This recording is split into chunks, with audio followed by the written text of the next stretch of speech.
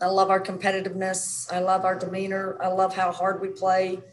Um, I love our want and our want to, and maybe so much so that they they feel too much pressure on the offensive end. Um, we're just not making enough shots right now, and I think people are starting to challenge us and and say make them take that. And until we prove that we can make some and, and bust out of a, a little bit of a shooting slump, I think this is what we're going to see. But um, I, I think overall, I like I liked who we were. I mean, obviously, if you hold Oregon to 58 points, you're doing some good things. We just we just got to find some answers on the offensive end.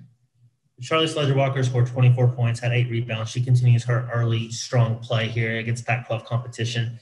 What what is it about her that just makes her such a hard guard and a hard defend? Even now that teams are have film on her and they know what she's going to bring, and, and they are scouting specifically for her.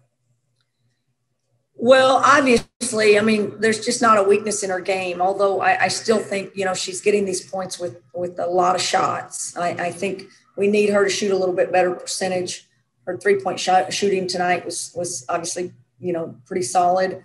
Um, but I, I honestly, I mean, I watch her every day in, in the gym, and and she shoots the ball really well, you know, in practice. So uh, I think as she gets older and gets more, it, used to this league and this and this this level. Uh, she's going to become even a better shot maker, but she's just she's there's just no weakness in her game. So, um, but and we're dependent on her. She takes a lot of shots for us. She gets uh, she creates a lot of shots for us. Uh, we need obviously her to score. We just got to we've got to get a, obviously you, you got to have more than one person in double figures um, to be successful, and, and 50 points is is just not enough for for our team. Uh, but where did you kind of put the onus defensively for your team in your second meeting with Oregon? And later in the game, how did they kind of snap out of their funk? Well, I thought the the two two good looks for Sedona. You know, we we know she can shoot from 17 feet, and we we didn't we let her get too good of looks. I think that got them right back into it and maybe took the lead. Again, another banked shot at the buzzer you know, on, on a kid that was a, a lunging layup, uh, hurt us late.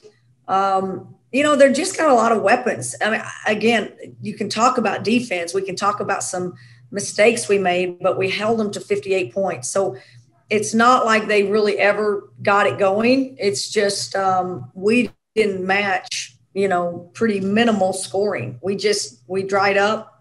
Um, we never really had a great quarter and, uh, you know, you're just not going to hold this team down forever. There's just too many weapons.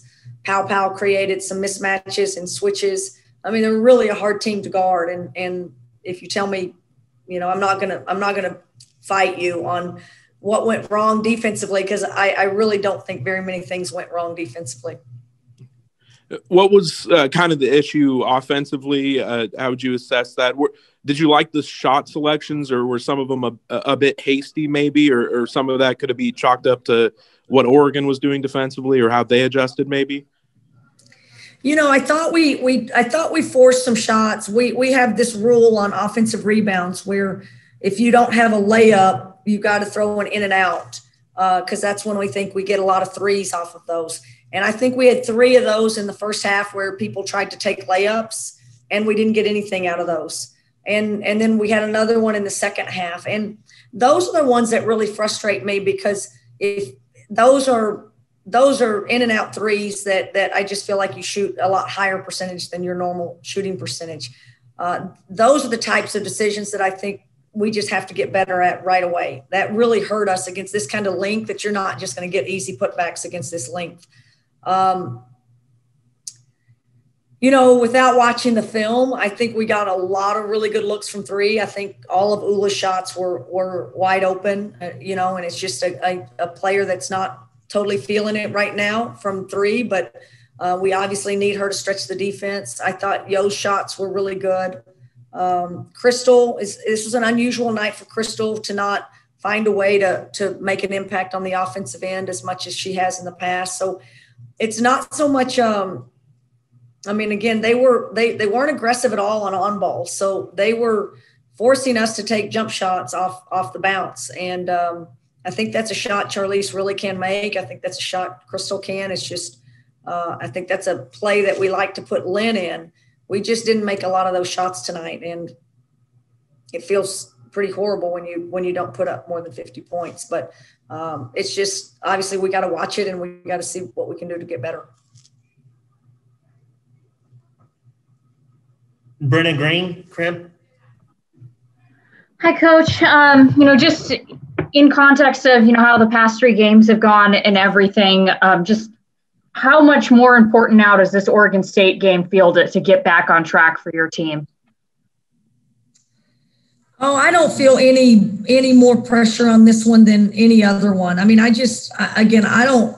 I want my team not to feel the pressure. I want them to be so excited that they get to play another Pac-12 team. Um, I mean, if if you're not, there's something wrong with you. So I don't want us to be bogged down. I mean, if you don't take some hits in this league with a young team, you know, who would have ever thought that we'd be sitting here, whatever we are, and really mad at ourselves for dropping four games or something? Like, you know, we're a really good team and we have a chance to be a great team if we can kind of put together, you know, full games and, and get our offense going a little bit better. Um, but we're a really good team that is very competitive, that walks on the floor and is going to guard you and is going to is going to compete.